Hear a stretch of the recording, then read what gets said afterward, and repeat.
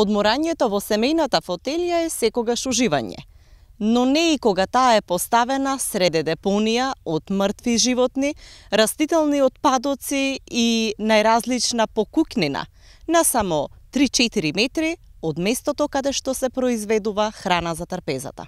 Депонии како печорки по дошт никнуваат во околината на плодното земјиште. Овие купишта отпад се директни загадувачи на подземните води и почвата. А депонии во Струмичко има многу. Се проценува дека над 100 диви депонии има во околината или барем по две во секое населено место. За граѓанските активисти, тие се рак рана на обработливото земјиште и подземните води. Алармираат дека општините, но и државата мора да се занимаваат со ова прашање. Проблемот со подземните води е доста комплексен, доста сложен, но и доста важен. Посебно ако го земе во обзир фактот што 70% од целокупната вода во, во државата доаѓа преку подземните води. 20 до 30% доаѓа преку врнежите, така да може да сватиме колку е ова клучно и битно. Од друга страна, подземните води, еднаш кога ќе бидат загадени, многу тешко се чистат.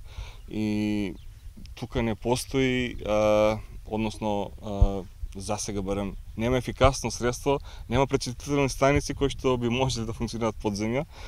И а, на крајна ден, зошто би го правиле тоа? Дај да го превенираме, нели? Екоактивистите бројат најразлични загадувачи на подземните води, а голем дел се токму од земјоделските активности. Сепак, поради недоволните истражувања, не е јасна состојбата со подземните води во регионот.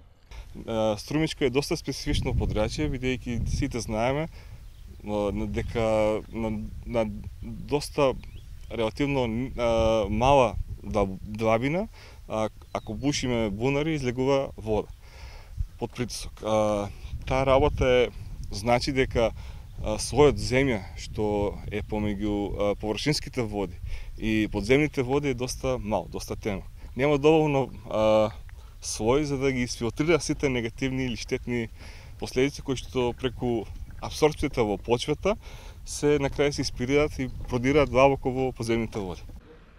Државата нема континуирано следење на подземните води, иако поединечни истражувања на Универзитетот Гоце Делчев бележат зголемување на загадувањето во одредени подрачја. А во делот на, на минералните ѓубри, значи, а, еве некои испитувања кај нас кажа дека во некои води веќе имаме а, појава на нитрати, кои нитрати во некои испитувања се сметат дури поопасни од самите а, пестициди, како причинители на некои канцерогени заболувања. Значи, самите ѓубриња, посебно азотот кој што а, е во различни форми, меѓу која едната форма е нитратна форма, која се лесно испарува и лесно испира, таа е најлесно подвижна форма и многу брзо може да навлезе во подпочвените води. Според професорот Спасов, подземните води го плаќаат данокот на несоодветното користење на пестицидите и минералните ѓубрива во земјоделското производство. Тој смета дека дозирањето на ѓубривата, но и на пестицидите е многу важно, но и начинот на наводнување за да се минимизира опасноста од загадување. Значи, бидејќи со поголема количина на вода, таа се испира и се нанесува во самата подпочвена вода. Значи, сето тоа предонесува на еден начин во долготраен а, период да дојде до загадување на подпочвените води.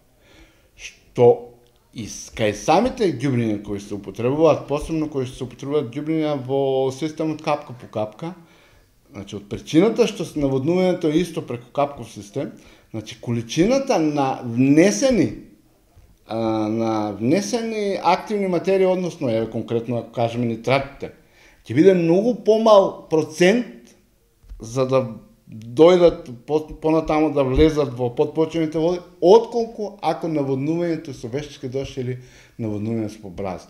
Значи, таму каде се употребува поголема количина на вода, таму може и побрзо да дојде до загадување на самите а, подпочвени води. Земјоделците велат дека искуството ги научило како да ги употребуваат ѓубривата и пестицидите. Децени и занимавање со производство на храна сметаат дека е доволна пракса за да знаат дека претерувањето е штетно и за родот, не само за подземните води и почвата, вели Ристо Велков. Тој смета дека редовните контроли и на земјоделците и на увозот на пестициди ќе воведат поголем ред. Мислам дека од една страна, како што прашавте, треба да има директна директна доаѓање на самите терни кај самите земјоделски производители да се увиде како и на кој начин вршат заштитата на културите во земјоделското производство, меѓутоа немала мерка е и, и примена а, при самиот увоз на самите репроматеријали, тоест пестициди да се врши контрола од надлежниот инспекторат да се увиде дали и во кој процент а, прво и прво дали во кој процент е активната материја на препаратите кои што се увезуваат, бидејќи во немал број на случаеви имаме несоодветен процент на застапеност на активната материја, а ако биде таа во исклучителни случаи, во дадени случаеви помал процентот на активната материја, тогаш и самиот земјоделски производител ќе биде оштетен. Велков и самиот со години наназад применува органски препарати. Не загадувале и давале одлични резултати. Според мене, знаеме дека основен и, и а, начин на производство во земеделското производство пред се во растителното производство и конвенционалниот начин на производство. Меѓутоа веќе има препарати со ниска каренца или а, токсичност кое што има а, мал временски период и секој земеделски производител иако произведува конвенционално, мислам дека може да произведува здраво. Меѓутоа еве кај мене јас веќе 4-5 години се занимавам со интегрален начин а, на производство, начин кој мислам дека е неминовно да се совлада пред да се стигне до органски начин на производство. И сега што значи интегрално производство? Мислам интегрално производство тука значи употреба и на хемија, заштитни средства или а, ѓубрива од а, база на хемија, меѓутоа сите оние кои што се наоѓаат на зелената листа им е дозволено значи за употреба на ваков начин на производство и голем процент на заштитни средства и исхрана од органска а, од органско производство.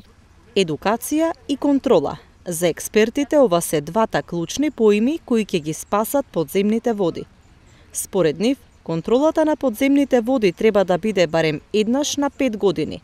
На тој начин ќе се знае квалитетот и квантитетот на водите во подпочвениот слој, но и каква е нивната врска со екосистемот.